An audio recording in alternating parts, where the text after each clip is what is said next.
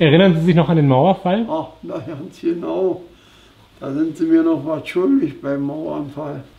Wo die Mauer gefallen ist, ja, ich weiß ja nicht, ob Sie Fernsehen oder was gesehen haben, da haben sie doch immer gebracht, wo die junge Frau dem Polizisten einen Kuss gibt auf der Wange. Das war meine Sache gewesen, das habe ich eingefehlt. Den Kuss hat der gekriegt. Aber die Kinder, die hat da immer gestanden und hat gewähnt und hat immer gesagt, sie will doch mal zu ihrer Mutter, die will zu, war ja noch zu alles, die will zu ihrer Mutter, war noch immer Straße hier. Und da habe ich gesagt, Mensch, hast du denn kein Herz? Der war ja Offizier, der hat da gestanden, der hat ja den Befehl da von die Truppe gehabt, von die Grenztruppe.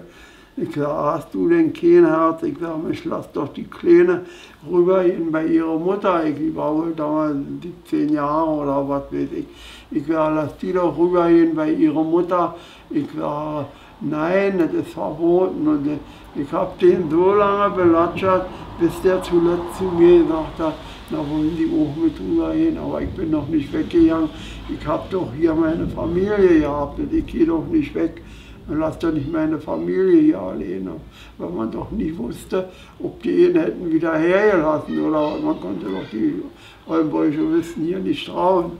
Und äh, dann äh, habe ich gesagt, dann hat er mit immer so nach einer Viertelstunde so was sagt, damit immer zu die junge Frau, die hat immer gerucht und gewähnt, da hat er mit immer zu die gesagt, na dann gehen Sie mal rüber, sagt er.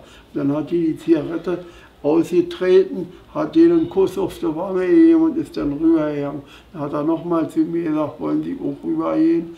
Nee, ich sage nicht. Ich sage, ich muss nach Hause bei meiner Familie.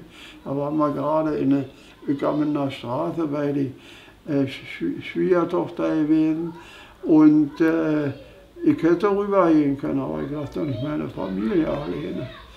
Und, äh, das heißt, die Frau war dann die Erste, die rübergegangen ist? Was? Die Frau war dann die Erste, die rübergegangen ist, dieses Mädchen. Vorher war keiner mehr. Das war die Erste, die rübergegangen ist, praktisch.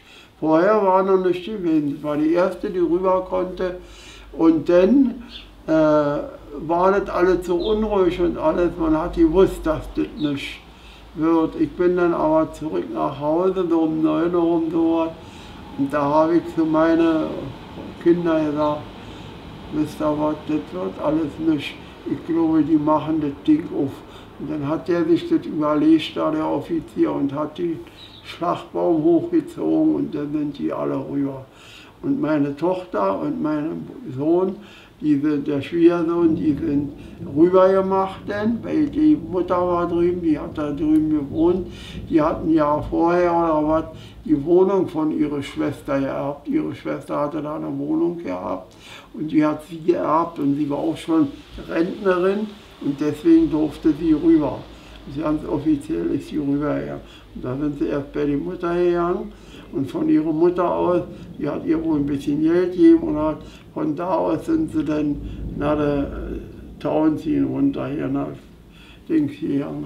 Da waren sie, dann sind sie erst einen Tag später wieder nach Hause gekommen.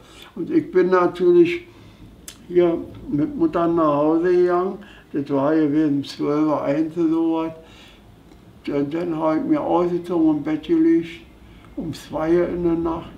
Denke ich mit ihm mal, na so blöde kann doch ja keiner sein wie ihr. Die Mauer ist auf und ihr, du liegst im Bett und schläfst. Da habe ich aufgestanden, habe mir angezogen, also habe ich zu meiner Frau gesagt, komm, mach dir fertig. Wir hatten einen Hund von den Kindern, die hatten so einen kleinen Pekinesen. Ich gerade den wir auf den Korridor ein. Der kann ein paar Stunden alleine sein, der Rico, sag ich. Und dann gehen wir wieder rüber. Und dann sind wir wieder rübergegangen, über die Bornholmer Straße. Ganz, war ja auch ganz offiziell, konnte man rübergehen. Hat keiner mehr was gesagt und gemacht. Und dann sind wir rübergegangen, sind wir Badstraße unten, alles spazieren gegangen. Dann sind wir nach Hause gekommen hier. Da habe ich eine Tasse Kaffee getrunken und dann bin ich arbeiten gegangen. Meine Frau hat sich hingelegt, hat sich ausgeschlafen und ich bin arbeiten gegangen. Das war unser Grenzfall gewesen.